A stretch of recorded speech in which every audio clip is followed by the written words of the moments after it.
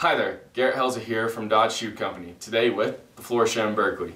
This shoe is made of full grain leather material and hand sewn moccasin construction that not only gives the shoe a unique look but also gives it the strength to hold all the materials within it together. The insides are lined with smooth leather that makes it really easy to take the shoe both on and off. A classic leather outsole is complemented here at the end of the heel with a leather heel kicker for durability that can help the shoe last a very long time. A timeless and classy style of shoe that has impressed again and again. You can find the Florsheim Berkley and many other products like it on our website at doddsshoe.com.